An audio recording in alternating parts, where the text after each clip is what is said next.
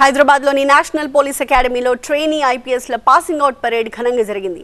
రెండు సంవత్సరాల పాటు శిక్షణ తీసుకున్న నూట ఎనభై ఎనిమిది మంది ఐపీఎస్లు ఈ పరేడ్లో పాల్గొన్నారు. కేంద్ర మంత్రి నిత్యానంద రాయ్ ఈ కార్యక్రమానికి చీఫ్ గెస్ట్గా హాజరై కొత్త ఐపీఎస్లకు బెస్ట్ విషెస్ చెప్పారు. ఇక ఈ డెబ్బై ఆరవ బ్యాచ్లో ఏపీ తెలంగాణకు ఎనిమిది మంది ఐపీఎస్లను కేటాయించారు. One mounted platoon and one prestigious Nishantoli are participating in today's splendid parade.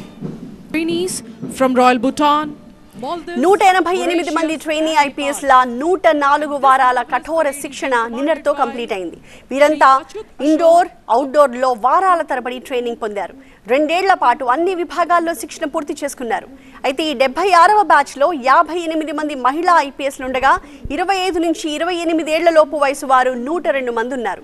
ఈ బ్యాచ్తో ఇప్పటి వరకు నేషనల్ పోలీస్ అకాడమీ నుంచి మొత్తం ఆరు వేల మూడు వందల డెబ్బై తొమ్మిది మంది ట్రైనీ ఆఫీసర్లు శిక్షణ పొందినట్టయింది. అయితే ఈ ఏడాది ఉత్తరప్రదేశ్ నుంచి అత్యధికంగా ట్రైనీ ఐపీఎస్లు సెలెక్ట్ అయ్యారు. యూపీ నుంచి పద్దెనిమిది శాతం మంది సెలెక్ట్ కాగా అత్యల్పంగా బీహార్ నుంచి ఆరు శాతం మంది మాత్రమే సెలెక్ట్ అయ్యారు.